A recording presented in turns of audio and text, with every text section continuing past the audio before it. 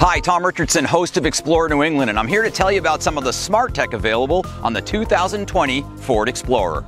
From snow to sand, mud to gravel, you'll find it all on New England roads. That's why every Ford Explorer model with available intelligent four-wheel drive and the terrain management system offers seven driving modes. So, with the turn of a dial, you can match your mode to the road.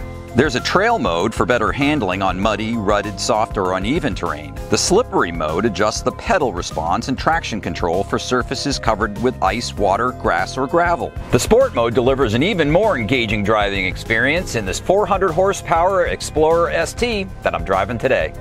When you find yourself going through deep snow or sand, well, there's a mode for those conditions that are so much a part of driving in New England.